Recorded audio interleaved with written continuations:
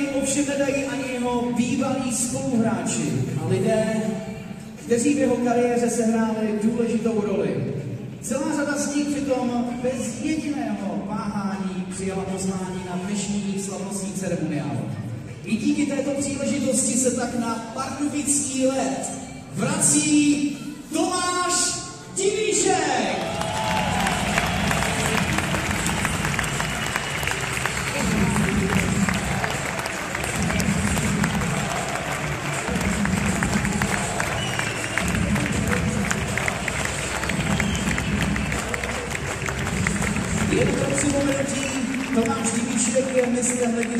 ligy s tehdejším Melenem Pardubice ze sezóny 2004-2005 a dodnes Petrův velikánský kamarád. Divoch nastupoval se Sejkem v jedné formaci a společně patří mezi symboly nástupu nové éry pardubického hokeje z kraje Milénia. Tomáš Divíšek, dámy a pánové.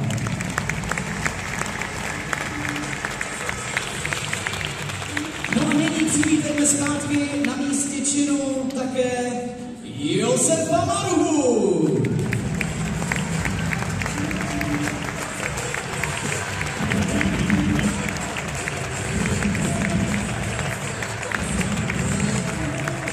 Josef Mára strávil výraznou část své kariéry ve švýcarském Davosu. Vyhrál celkem pět tamních titulů, dva z nich s Petrem Síkorou. Z obou zmíněných se postupně stali velcí kamarádi. Sejch o Pepovi Marhovi dodnes tvrdí, že patří mezi nejhodnější lidi, které zná.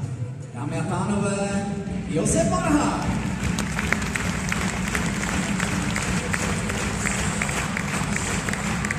Dalším dnešním hostem slavnostního ceremoniálu je také Petr Tatíček.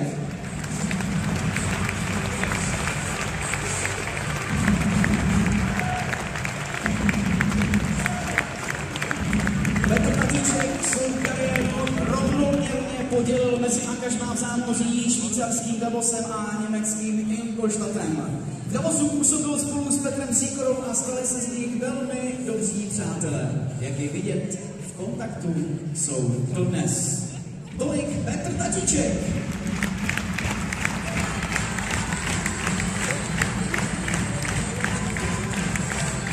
Další dnešní host si s Petrem Síkorou nikdy v Dynamu nezahrál.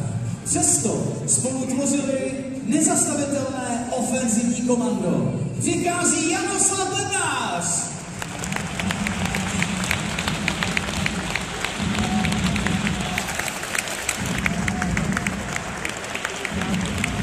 Jaroslav Bednář se s Petrem Síkorou samozřejmě dlouhé sezóny hráli a odehráli dvě sezóny ve své kariéře a to stačilo potvrzení faktu, že mezi funguje neskutečná hokejová chemie. Obzvlášť ročník 2010-2011 se jim výjimečně vydařil. Spolu v elitní formaci švýcarského Davosu dotáhli tamní nejslavnější klub k dalšímu titulu. Petr Síkora se stal nejlepším střelcem ligy a Jaroslav Bednář nejlepším nahrávačem. Znovu v jednom týmu se tak potkali na sklonku kariéry a to v dresu vrchlaví. Jaroslav Bednář.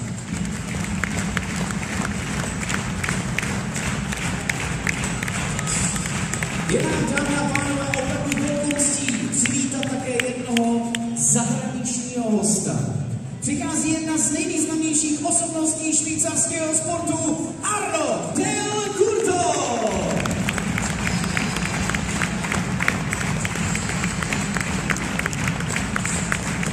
Arno Del Curto musel vážnému zranění ukončit hráčskou kariéru už v 21 letech, ale později se z něj stal fenomenální trenér. Dalo zkrátil na švýcarský trůn a získal s ním šest mistrovských titulů. Ve dvou případech, případech slavil zlato právě s Petrem Sikorou, který ho dodnes uznává kvůli způsobům, jejíž vedl tým a komunikoval s hráči. Jak se říká, každý hráč potřebuje občas pomoci i v zákulisí. A Petrovi s tím téměř celou jeho kariéru pomáhal pan Aleš Volek.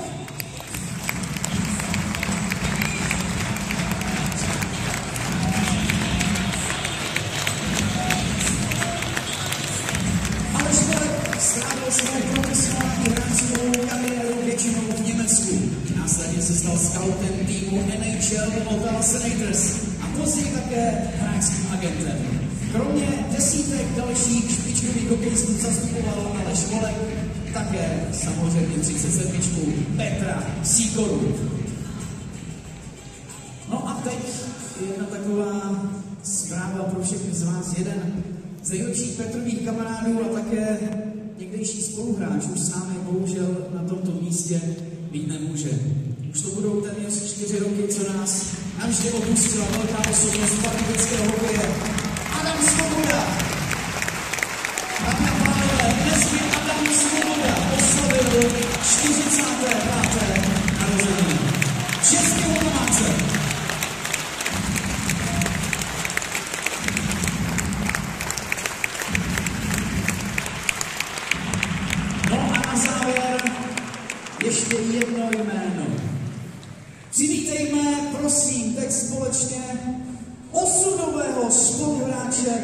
Petra Sígory.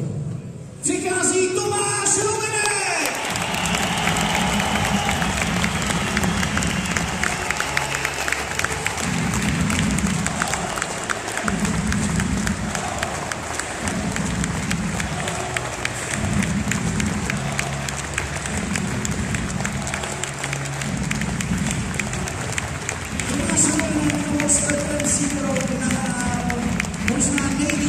jeho někdejších spoluhráčů.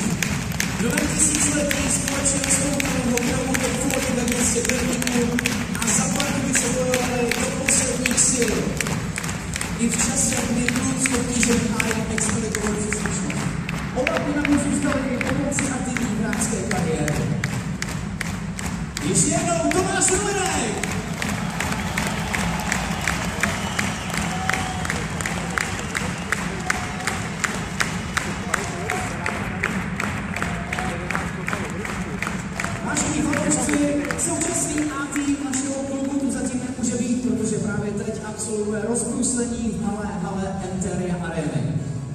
Lídři extraligové tabulky ovšem mysleli na všechny případy a Petrovi nachystali za mě několik vtipných vzkazů. Pojďme se na ně podívat.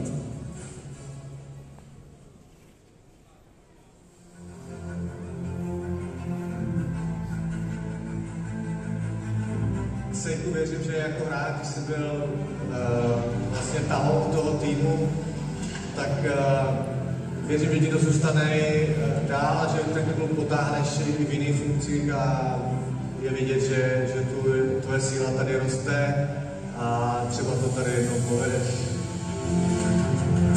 Petře, asi hodně gólů na svoji kariéru, užívej to za to, měj se čau. Prajem ti všetko dobré do hokejového dôchodku.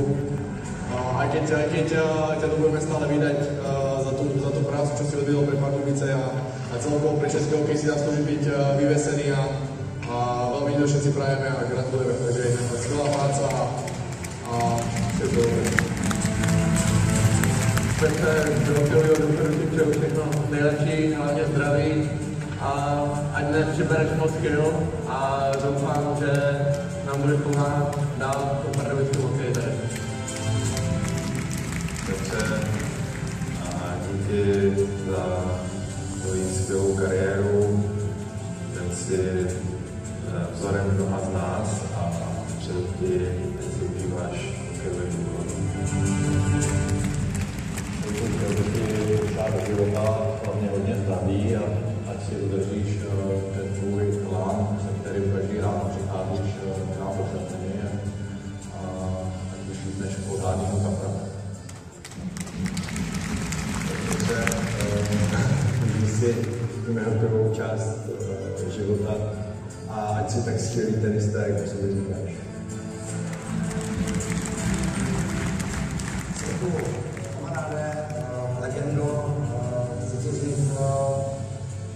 je pecka, že tady jedeš dál v jiné pozici eh, a bych ti popřát, ať to vydrží a rád na tebe vždycky budu vzpomínat, protože jsi fakt super kluka a vážím z toho, že jsem tě eh, prostě poznal a že jsme spolu tady prostě milion zápasů mohli spolu být, takže eh, se fajn a ať ti všechno a drž se.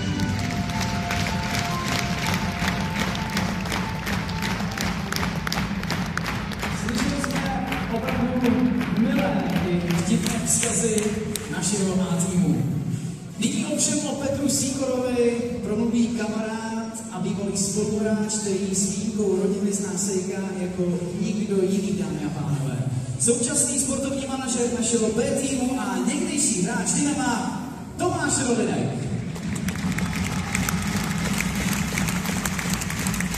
Dobrý večer. Dobrý večer. Dobrý večer. Petře. Jsi borec. Jsi borec. Pro nás všechny jsi borec. Já vím, že si ti klebou kolena dneska, jsi strašně nervózní, ale tohle všechno je kvůli tobě. Za tu svoji, tvoji skvělou kariéru. Uh, já když přišel do Pardubic, Petr odcházel do zámoří, byl draftovaný jako třetí útočník, vrátil se, trenéři z něho udělali pravý křídlo a stala se z něho mašina na góly. Mašina na góly, která dala plnou gólu, který jste vždy všichni mohli vidět. Plná pecka. Ale v Pardubicích si pomohl ke dvou, nebo ke dvěma titulům. Dal si plnou gólu. Pomohl si dvakrát baráži, zachránit extraligu, kde si vlastně dal zase góly, který se ti nepočítá do těch statistik. Takže těch gólů mělo být mnohem víc ještě. Ale je to číslo stejně, je fantastický. Já musím říct, a půjčím si slova Adama Svobody, který vždycky říkal, když ty si vystřelil, tak golmani zavírali oči. Že se báli, že ten puk je trefí. A když je netrefil, tak to byl gól. A když je náhodou trefil, tak je to hodně bolelo.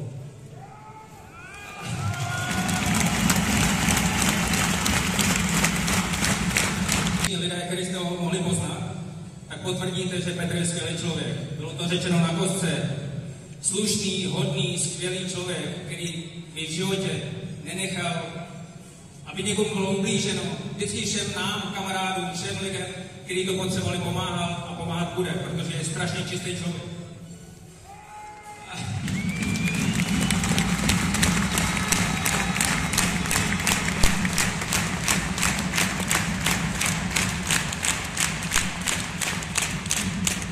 Asi bych mohl říct spoustu chytrých věcí, ale poslední věc na závěr. Já, všichni spoluhráči, kterou, který jsme s tebou mohli si zahrát, tak ti děkujeme. Jsi legenda.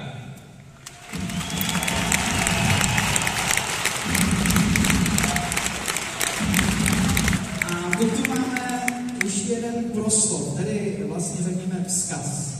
Nachystala ho totiž Petrová manželka Lucie, která tu je dnes sice s námi, ale nebyla si tak jako jistá, zda by v těchto pro ní jistě emotivních chvílích dokázala říct úplně vše, co měla na srdci. Pojďme se na to podívat.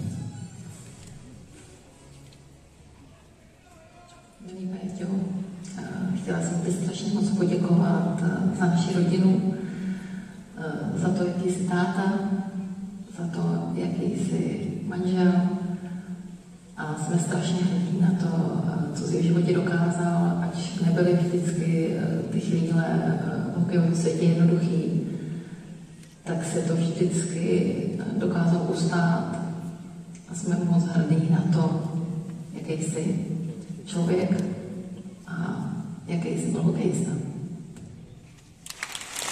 Letech v sezóně 1996-97. Tehdy odehrál 29 zápasů, připsal si tři asistence a vstřelil první extraligovou branku z první z celkových 385. Na východě Čech odehrál Petr Síkora ještě jednu sezónu. Následně odletěl bojovat o svoji šanci do zámoří. V dresu Nashville Predators se ovšem neprosadil. V prvním týmu odehrál pouze dva zápasy a když i následující sezónu načal na farmě Milwaukee, rozhodl se vrátit domů do Pardubic. Z Ameriky se Petr Síkora do Pardubic vrátil výrazně silnější i rychlejší. Vybudoval si pověst obávaného střelce. Po věčném zápisu do historie klubu sehal sejm se svým týmem už na jaře roku 2003. Tehdy ovšem Pardubice prohráli sedmé finále s Pražskou sláví. O dva roky později už tehdejší Meller při výlukové sezóně nikdo nezastavil. A Petr Síkora se stal poprvé mistrem ligy s Pardubicemi. Petrovi příliš nevyhovovalo být ve stínu ruského bohatýra a navíc mu chybělo rodné město Pardubice. Po deseti odehraných zápasech, nich si připsal čtyři body za dva góly a dvě asistence, se tak znovu vrátil domů. Po dalších třech letech na východě Čech se Petr Sýkora už v roli historicky nejlepšího střelce Dynama přesunul do švýcarského Davosu, kde našel své osudové zahraniční angažmá. Hned během první sezóny novém působí získal titul. Následně se na rok vrátil do Pardubic a i zde slavil prvenství. Pomyslný zlatý hetrik dovršil o rok později, kdy už znovu hájil barvy Davosu. V jeho drezu tak celkem získal dva švýcarské tituly. Stal se králem kanoníru, získal ocenění nejlepšího útočníka, nominaci do All-Star výběru, ovládl hodnocení statistiky plus minus a mimo to dokázal vyhrát také Spengler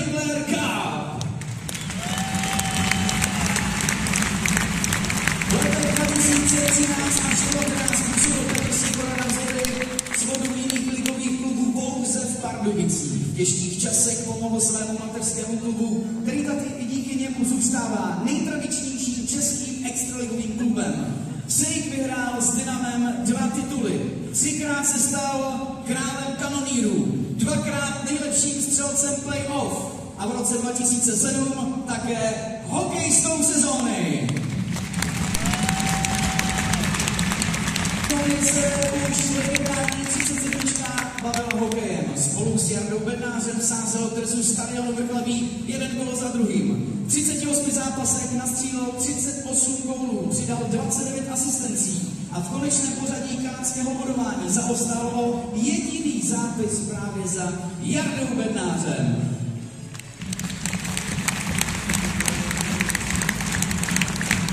Jak se říká, dámy a pánové, vážení fanoušci, není důležité, co si o vás myslí, když někam přicházíte, ale je velmi důležité, jak nás lidé vnímají při vašem odchodu.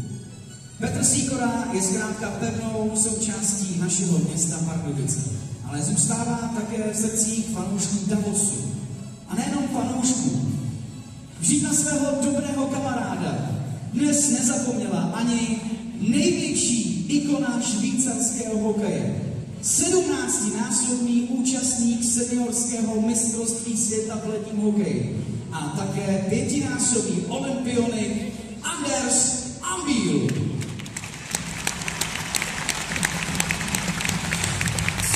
Congratulate you uh, for your unbelievable career. Uh, it's a huge honor to play with you, and you're not just a good player, but also a great human. Uh, I really enjoyed playing with you, and everybody knows you're a huge legend in Czech. So uh, congratulations for your achievements, and uh, enjoy your big day with hanging up the jersey in the rafters. And yeah, hopefully see you soon and have fun tonight. Který složil a také naspíval. Trenér mládeže Dynama Michal Křečan. No a vy si ji můžete nyní s námi zaspívat. Stačí si otevřít facebookové stránky Dynama, kde najdete kompletní text písně a Michal je připraven. Tak pojďme teď zaspívat Petru Sýkorovi.